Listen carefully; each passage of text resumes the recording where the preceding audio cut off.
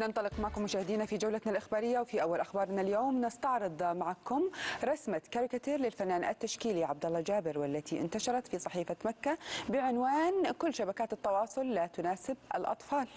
صحيح صحيح. يعني دائما بنشوف إن مواقع التواصل الاجتماعي أو التطبيقات لو كانت هي مختصة بالأطفال إلا ما تطلع لك بعض الفيديوهات أو بعض الإعلانات اللي تكون مش مناسبة للأطفال.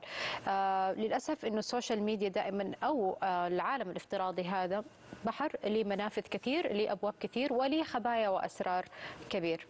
أرجع أقول لك هذه مشكلة وليس لها حل.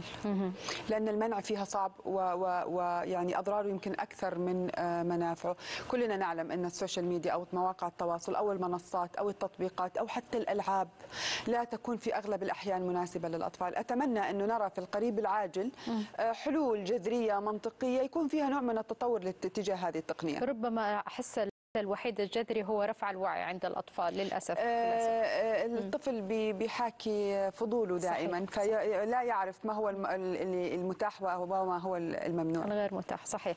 نروح